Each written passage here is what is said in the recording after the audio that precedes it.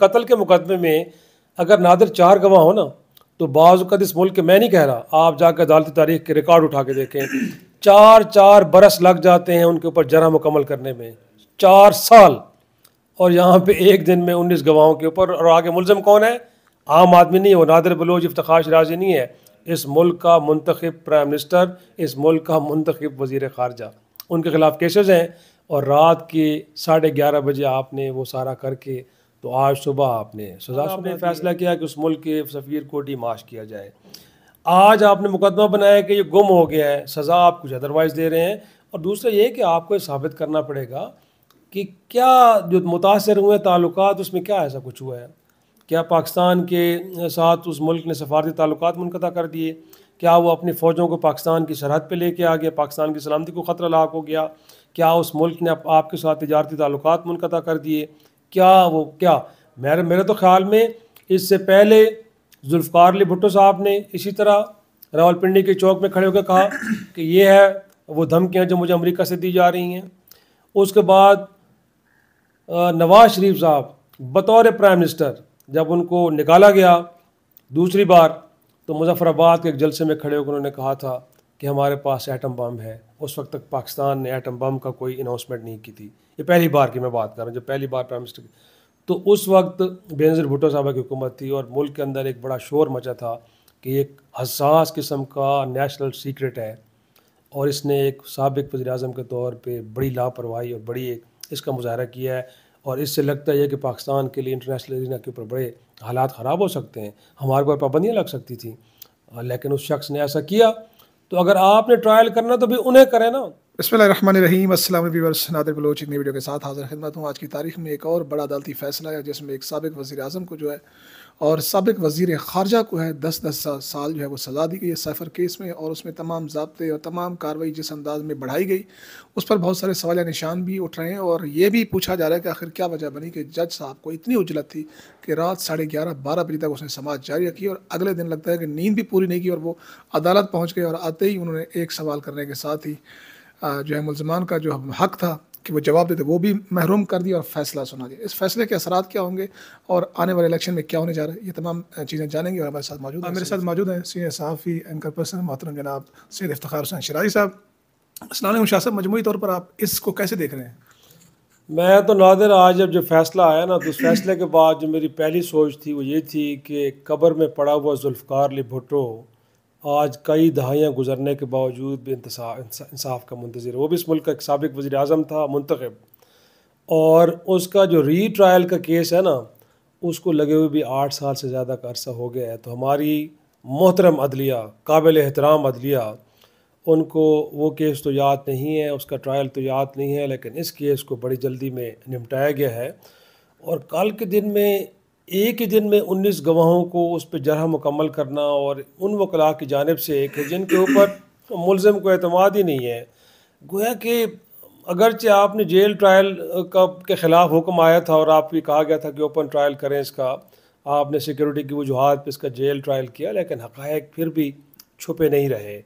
तो कल के दिन आपने उन्नीस गवाहों के ऊपर जरह मुकम्मल करके, फिर उसके बाद एक जो मरकज़ी मुलम है, उसका जो आखिरी स्टेटमेंट उस वो भी रिकॉर्ड किए बगैर आपने एक जजमेंट जारी कर दी है। और फिर मैं यहाँ पे ये बड़ा बुनियादी नुकता उठा रहा हूँ, किसी बायस के बगैर, कि गोए कि रियासत पाकिस्तान ने पी टी एम की सरकार ने जो मुकदमा दायर करने की काबीना के थ्रू अप्रूवल दी, उसमें यह था कि एक हसास मालूम थी और बतौर प्राइम मिनिस्टर इमरान ख़ान ने और बतौर वज़ी ख़ारजा शाह कुरैशी ने उसकी हिफाजत नहीं की। उसको घुमा दिया। आपने यही इल्ज़ाम लगाया है और आप जाकर ज़रा ऑफिशियल सिक्रेट की किताब उठाइएगा, उसकी सेक्शन फाइव पढ़िएगा और उसकी जो सब सेक्शन सी और डी भी पढ़िएगा। गोया में उसमें वजाहत के साथ लिखा है, गोया कि उस सेक्शन को लेके आपको सुप्रीम कोर्ट जाने की ज़रूरत भी नहीं है कि ज़रा इसकी तशरी करके दें। कि कोई सेल्फ एक्सप्लेनेटरी है। उसके अंदर लिखा होगा कि कोई सरकारी मुलाजिम या पब्लिक ऑफ़िस होल्डर अगर वो कोई दस्तावेज़ या जो हसास नोयत की उसको गुमा दे या उससे गुम हो जाए तो उसकी मैक्सिमम मैक्सिमम जो सज़ा है, वो दो साल है।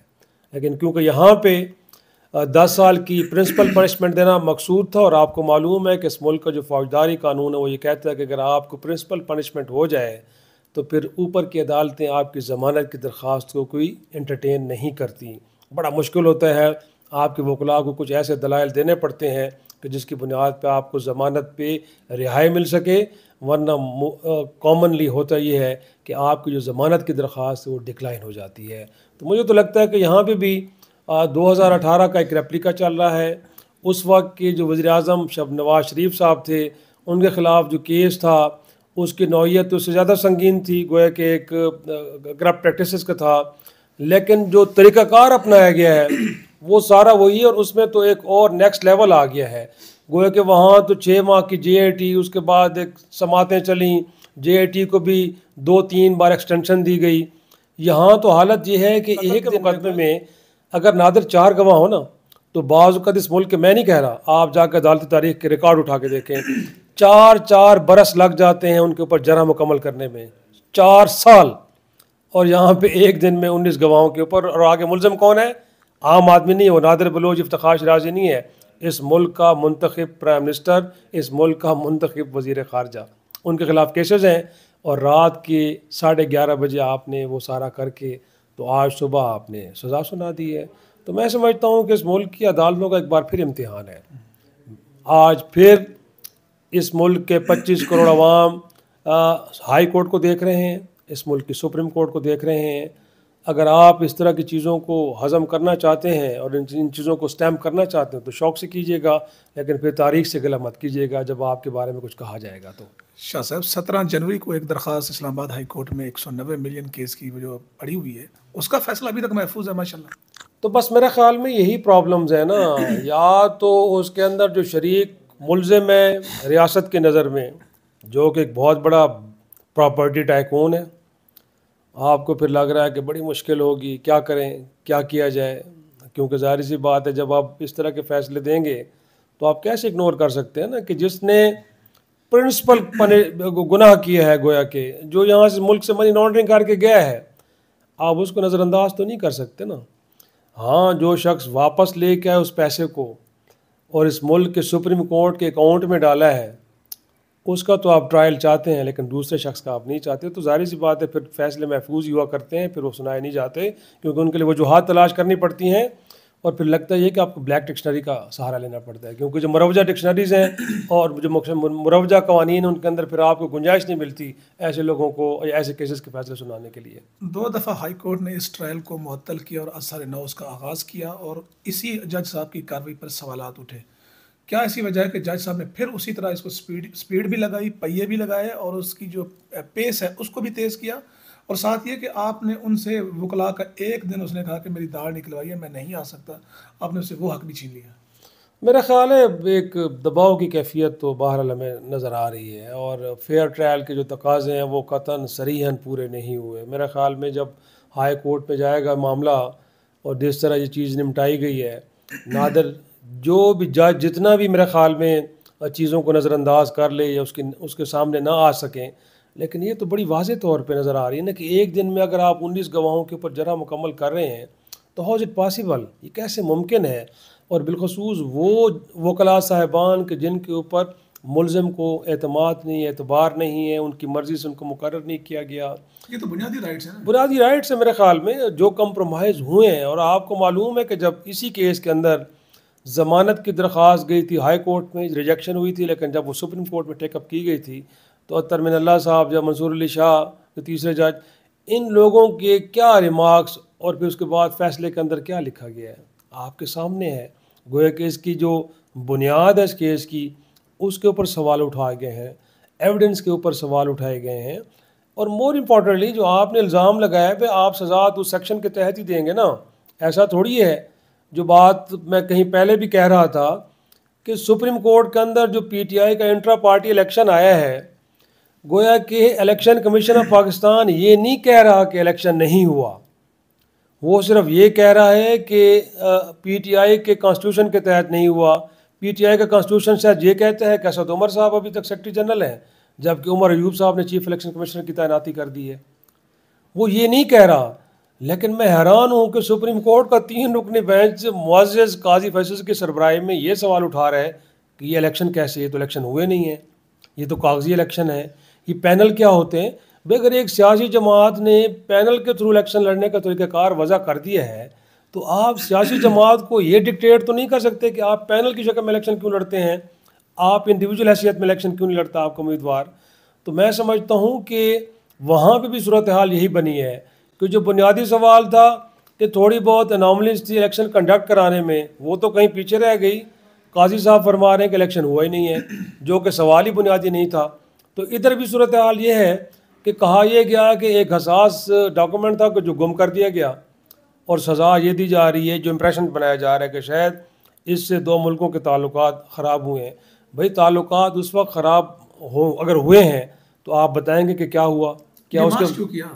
एक तो यह है कि कौमी सलामती कमेटी ने डिमाश क्यों किया और कौमी सलामती कमेटी ने अपनी प्रेस रिलीज़ में ये क्यों कहा कि ये साइफर पाकिस्तान के अंदरूनी मामला में मुदाखलत के मुतरदफ है।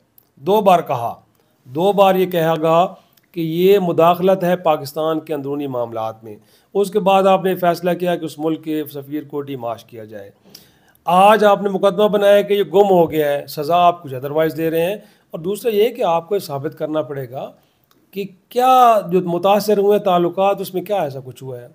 क्या पाकिस्तान के साथ उस मुल्क ने सफारती ताल्लुक मुनता कर दिए? क्या वो अपनी फ़ौजों को पाकिस्तान की सरहद पर लेके आ गया? पाकिस्तान की सलामती को ख़तरा लाक हो गया? क्या उस मुल्क ने आपके साथ तजारती ताल्लुक मुनता कर दिए? क्या वो, क्या? मेरे मेरे तो ख्याल में इससे पहले जुल्फ़ार अली भुट्टो साहब ने इसी तरह रावलपिंडी के चौक में खड़े होकर कहा कि ये है वो धमकियाँ जो मुझे अमरीका से दी जा रही हैं।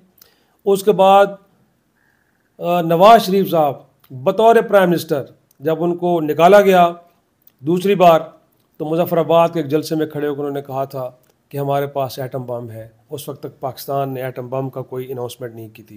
ये पहली बार की मैं बात कर रहा हूँ, जब पहली बार प्राइम मिनिस्टर तो उस वक्त बेनज़ीर भुट्टो साहबा की हुकूमत थी और मुल्क के अंदर एक बड़ा शोर मचा था कि एक हसास किस्म का नेशनल सीक्रेट है और इसने एक सबक वजी अजम के तौर पर बड़ी लापरवाही और बड़ी एक इसका मुजाहरा किया है। और इससे लगता है कि पाकिस्तान के लिए इंटरनेशनल एरिना के ऊपर बड़े हालात ख़राब हो सकते हैं। हमारे ऊपर पाबंदियाँ लग सकती थी। लेकिन उस शख्स ने ऐसा किया। तो अगर आपने ट्रायल करना तो भी उन्हें करें ना। और मैं समझता हूँ कि इससे बढ़ के वो लोग के जिन्होंने नाइन अलेवन के बाद पाकिस्तान की फ़ॉरन पॉलिसी के अंदर वानिटी का शिफ्ट लेके आए और हम एक इतनी बड़ी जंग का हिस्सा बने, जिसके खमियाजा आज तक लोग भुगत रहे हैं। तो क्या केसेस किन के ख़िलाफ़ बनने चाहिए? मेरा सवाल है बड़ा सादा सा। मुल्क उससे मुतासर हुआ है। मुल्क की बुनियादें उससे हिली हैं। आज इस मुल्क के अंदर जो हम देख रहे हैं शायद वो इस तरह के बड़े फैसलों की वजह से ऐसा हुआ है।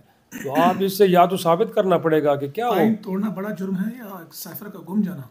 मेरा ख्याल में जाइए क्योंकि इस वक्त काजी फैसल साहब बार बार यही पैर कह रहे हैं कि इस मुल्क में जिन्होंने आइन को तोड़ा है और उस आइन को तोड़ने को जिन्होंने सुप्रीम कोर्ट में भी बैठ के उनको स्टैम्प किया है। वो कहते हैं उनको, मैं जज मानता हूँ, ना मैं उनको सदूर मानता हूँ। तो मेरे ख्याल में हमें काजी फैज़ल साहब ने बता दिया है कि इस मुल्क में आइन तोड़ना सबसे बड़ा संगीन जुर्म है। तो अगर वो जुर्म है तो मेरे ख़्याल में फिर आप उस तरफ़ ज़्यादा जाएँ। यहाँ तो पोलिटिकल स्टेटमेंट एक आई है और उसके बाद हमें तो नहीं लगा कि हमने को उसके, किस तरह के असरा देखे हैं। और रह गया नादिर, मैं कहता हूँ कि लोग क्यों भूल जाते हैं? डोनाल्ड ट्रंप साहब जब प्राइम मिनिस्टर प्रेसिडेंट बने हैं आप उनकी पहले साल की साउथ एशिया से मुतक जो स्पीच है जो स्टेटमेंट है जो पॉलिसी है याद आई है आपको? उसमें पाकिस्तान से मुतल कितना तजहीक आमेज़ रवैया अख्तियार किया गया है। पाकिस्तान को एक चीटर स्टेट के तौर पे जो है वो गर्दाना गया है। तो भाई आपके साथ जो ताल्लुकात की नौीयत है वो तो फिर ये है।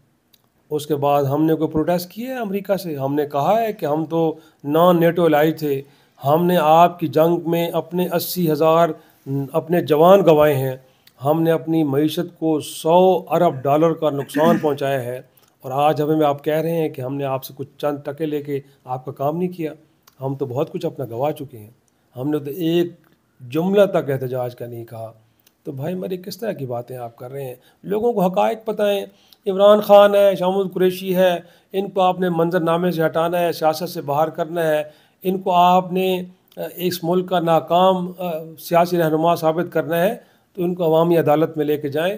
खुदा कसम, इनको पाँच साल दें, अगर डिलीवर नहीं करेंगे तो इस तरह के केसेस नहीं बनाने पड़ेंगे। अवाम इनको खुद बाहर निकाल पाएँगे ऐसा इकबाल कहते हैं कि अदालत ने नरम फैसला दिया है। इसको कैसे देख रहे हैं? हाँ मेरे ख्याल में उनकी शायद ख्वाहिश होगी कि सज़ाए मौत होनी चाहिए क्योंकि शायद उनका ख्याल में ऑफ़िस एक्ट के तहत एक सज़ा मौत की सज़ा भी है। तो शायद वो तो कर रहे थे कि शायद वो सज़ा होनी चाहिए क्योंकि उनको लगता है कि क्योंकि हमारे भी रहनमा को किसी ज़माने में त्यारा साजिश केस के अंदर सज़ाए मौत हुई थी जिसके बाद उम्र कैद में बदला गया था। तो यहाँ तो टिट फॉर टैट की कहानी चल रही है ना। हमारे यहाँ प्रॉब्लम सियासतदानों का ये है in the time of crisis वो पॉलिटिकल पॉइंट स्कोरिंग पे ज़्यादा तवज्जो देते हैं। अपना जो ज़ाती रंजिश है उसको निकालने पे ज़्यादा उनका फोकस होता है और कुछ अपीजमेंट की पॉलिसी होती है ताकि उनके स्टेटमेंट से कोई खुश हो जाए। इस पर ज़्यादा फोकस होता है। तो यही चीज़ें तो हैं मेरे ख्याल में, नादर इसने आज हमें इस नहज पर ला के खड़ा किया है कि आज आई एम एफ़ का एक अरब डॉलर, साथ में दोस्त ममालिक मिले कर्ज़े, जब तक वो रोल ओवर ना हो, उधार आगे ना बढ़े तो हम आगे बढ़ नहीं सकते। तो चलो, लगे रहे फिर जारी सी बात है इकबाल साहब से कहिएगा कि चलो, आज किसी ज़माने में जुल्फ़ार भुट्टो साहब मंजर आम से हट गए थे, आज इमरान खान भी हट जाएँगे, उसके बाद देखते हैं इस मुल्क के अंदर आप दूध और शहद की नहरें हमें बहा के दे दें। तो ऐसा, ये एक वो गैर दानशमंदाना अप्रोच है, जिसने पाकिस्तान को पहले बहुत ज़्यादा मुतासर किया है और लगता है कि आने वाले वक्त में भी करती रहेगी। इस फैसले का इलेक्शन पर कोई असर देख रहे हैं? मुझे नहीं लगता, मुझे नहीं लगता इससे इलेक्शन के ऊपर कोई असर पड़ेगा। अगर इलेक्शन फ्री एंड फेयर हुए तो मुझे लगता है कि इससे तो जिस अंदाज में आपने इस ट्रायल को निपटाया है, इससे पब्लिक सहमति और ज़्यादा पीटीआई गेन करेगी, कम तो नहीं होगी। तो पता नहीं अब कौन लोग ऐसे हैं कि जिनका ख्याल ये था कि जिन्होंने ऐसा मशवरा दिया कि इसको एक ही दिन में निपटा के तो अगले दिन आप फैसला सुना दें। डेडलाइन तो पाँच फरवरी थी। हाँ मैं तो हैरान हूँ कि कुछ लोगों की चिड़िया और चिड़िया तो ये कह रहे थे कि शायद ये पाँच तारीख तक जो है वो फैसला आ जाएगा। लेकिन वो ख़ुद भी हैरान होंगे कि हमें तो कुछ और बताया गया था और चीज़ें उससे पहले हो गई। लेकिन एनी anyway, बात वही है।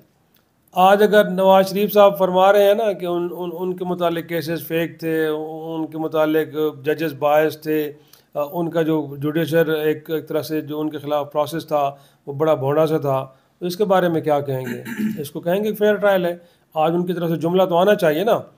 क्या उनको लगता है कि एक दिन में उन्नीस गवाहों के ऊपर जरा मुकम्मल की जाए और उन वकला की जानब से कि जिनको वकील मुलम ने एक तरह से, एक तरह से अपॉइंट ही ना किया हो अपना वकील। तो क्या इसको कहेंगे कि फेयर ट्रायल है? एक जुमला तो कम अज़ कम कहें कि तारीख़ आपको भी कहीं ना कहीं थोड़ी सी स्पेस दे।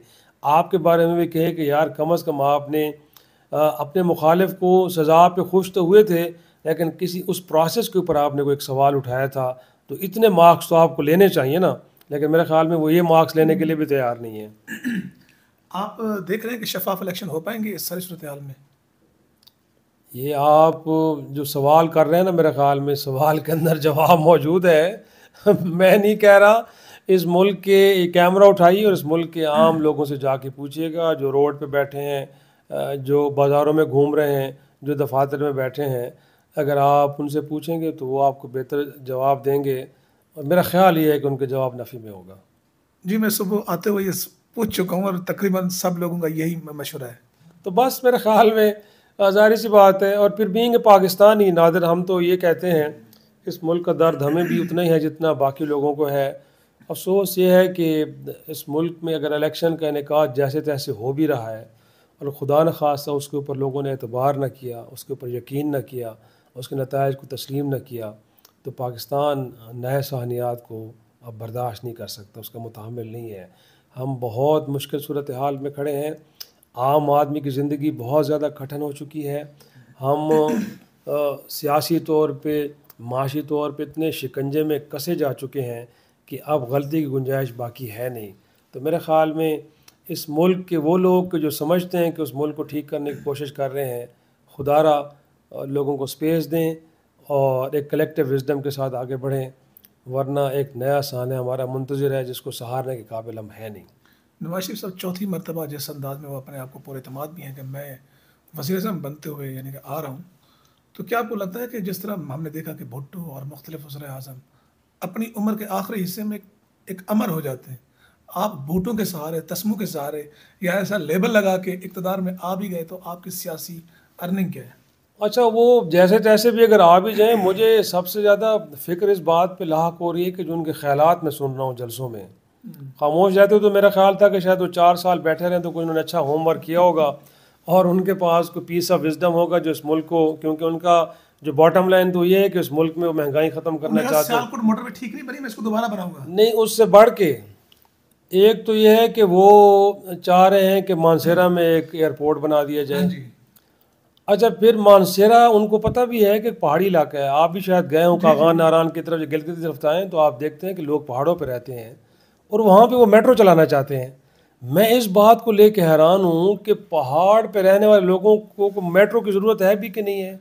वो मेट्रो कैसे चलेगी वहाँ पे? वहाँ पर भी एयरपोर्ट का ऐलान अच्छा वहाँ पे भी किया है अब मैं उस बात को लेके भी बड़ा हैरान हूँ। तो हमें ज़ाहिर सी बात है उनका हक है। बस टर्मिनल नहीं बन सकता चार गाड़ियाँ खड़ी हों। तो मैं वही आपसे कह रहा हूँ कि जो उनके ख्याल हैं मुझे उनसे डर लग रहा है बड़ा।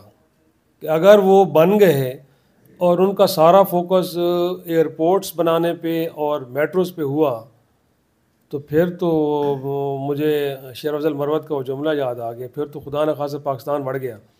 तो ये थोड़ा सा मेरे ख्याल में उनको अपनी डायरेक्शन ठीक करनी चाहिए और वो लोग नून लीग के अंदर कि जो थोड़े से हमें लगता है कि सेंसिबल लोग हैं और बाज़ बात करते हैं साद रफ़ीक जैसे लोग हैं, कुछ अच्छे लोग हैं, कि जो बताते भी हैं कि हमें सियासी तौर पर कैसे आगे बढ़ना है या हमारी तरजीहत क्या होनी चाहिए। उन लोगों को सुनना चाहिए और एयरपोर्ट्स बनाने की तरफ़ नहीं, बल्कि उन इश्यूज़ की तरफ़ जाना चाहिए कि जो वाकई इस मुल्क के रियल इश्यूज़ हैं जिनको एड्रेस करके हम उसको आगे ले जाया जा सकता है। तो अगर उनकी तरजीहत ठीक हुई तो फिर तो ठीक है। वरना चौथी बार उनका प्राइम मिनिस्टर बनना खुदा न खास पाकिस्तान को एक नए सहने से दो चार न कर दे। बहुत शुक्रिया बहुत शुक्रिया। जी इन नई वीडियो के साथ हाजिर खिदमत होंगी। चला दीजिए। अल्लाह हाफिज़।